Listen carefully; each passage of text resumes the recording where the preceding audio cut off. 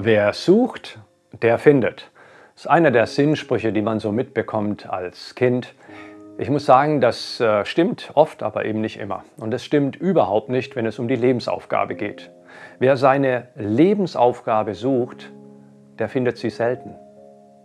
Warum das so ist, das will ich dir jetzt verraten. Wenn wir etwas suchen, beauftragen wir unseren Verstand damit. Unser Verstand ist derjenige, der sich auf die Suche macht. Der blickt sich um, er reimt sich Dinge zusammen, er analysiert, er wägt ab und dann kommt er auf eine Lösung. Bei der Lebensaufgabe handelt es sich aber um ein Thema, das gar nichts mit unserem Verstand zu tun hat. Denn die Lebensaufgabe, die ist uns schon bei Geburt gegeben. Und da sie uns bei Geburt schon gegeben ist, können wir davon ausgehen, dass sie vor dem Verstand da war. Denn der Verstand, der wurde erst später gefüttert. Und nicht mal von dir selbst. Wer fütterte denn dein Verstand? Die Eltern, die Lehrer, die Freunde, die Umgebung, die Kultur, auch das Jahrhundert, in dem du geboren bist. Und irgendwann, da kannst du deinen Verstand dann mal selbst füttern, aber dann ist er ja schon vorgeprägt. Du bist also gar nicht so befreit.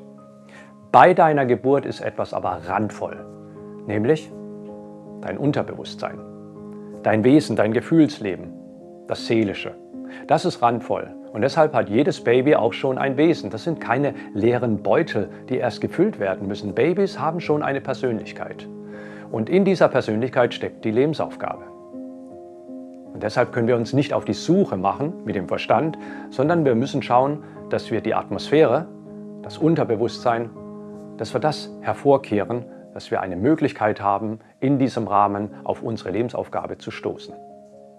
Mein chinesischer Lehrmeister sagte einst, wer sucht, der findet nichts. War für mich ein eindeutiger Auftrag, eben auch nicht mehr groß rumzusuchen, sondern mich einfach eher fallen zu lassen. Und fallen lassen ist oft die Lösung. Sich fallen lassen in einer Beziehung. Sich fallen lassen, wenn Probleme überhand nehmen. Sich nichts zu sehr an sich zu reißen und mit Verstand etwas Gewalt hervorzuzwingen. Das funktioniert nicht. Die Lebensaufgabe zu finden hat ein wenig mit dem Verlieben zu tun. Denn wer seine Lebensaufgabe lebt, der hat sich wieder in sich selbst verliebt. Wenn Kinder spielen, völlig befreit von irgendwelchen Vorgaben, du musst um fünf daheim sein, oder wenn man logisch den Kindern sogar was erklären möchte, ich muss dann immer lachen, wenn ich sehe, wie die Mama dem Dreijährigen auf dem Kinderspielplatz erklärt, du darfst noch viermal wippen, weil wir müssen dann um 16 Uhr zu Hause sein, die Mama muss kochen, damit es um 17 Uhr Abendessen gibt. Da muss ich immer lachen, weil wie will man denn einem, einem Kind, das von seinen Sinnen, von seinen Freuden, von seinen Emotionen getrieben ist, mit solchen logischen Abfolgen erklären, warum es jetzt nur noch viermal wippen soll?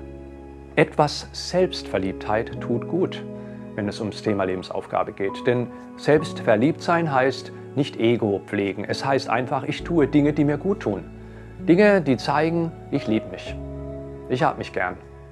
Und wer sich gern hat, ja, der tut wohl eher Dinge, die ihm nicht schaden. Die Lebensaufgabe ist also etwas, das sehr stark mit unserem Gefühlsleben, mit unseren Empfindungen zu tun haben.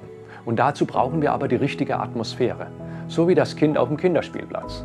So wie ein Kind, das befreit ist von Vorgaben.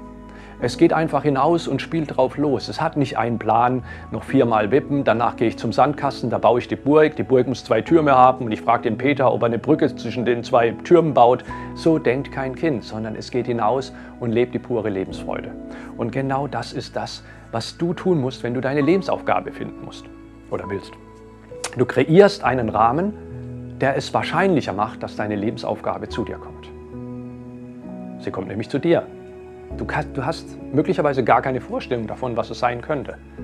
Wie kreiert man nun diesen Rahmen, diesen Raum, dass die Lebensaufgabe zu einem kommt, dass ihr einen besucht? Das ist gar nicht so schwer. Oft steht davor sogar eine kleine Willensentscheidung.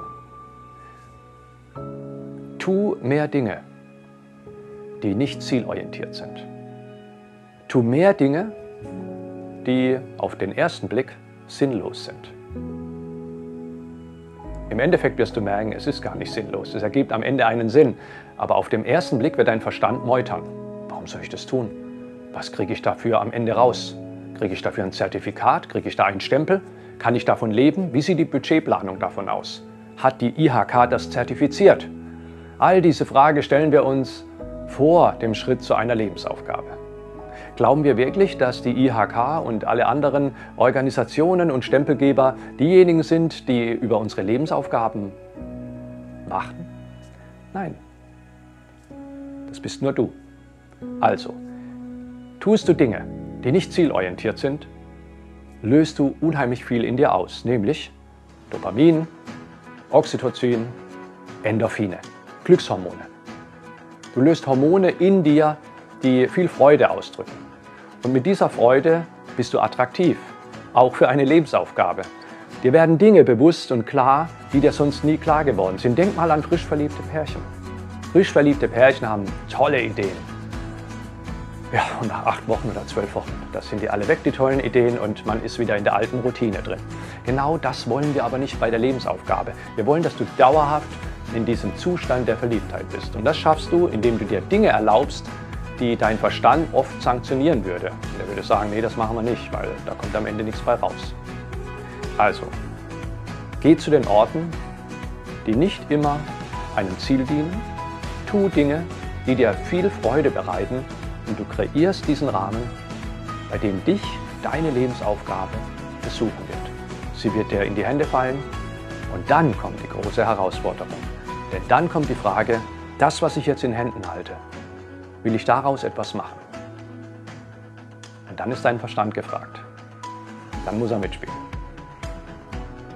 In einer Welt, in der du alles sein kannst, sei du selbst. Wenn du mehr Geschichten lesen willst über die Lebensaufgabe, über die Berufung, dann hol dir mein neues Buch Ich lese deine Lebensaufgabe. Wenn dir das Video gefallen hat, ich freue mich auf dein Like, abonniere den YouTube-Kanal und ich sehe dich.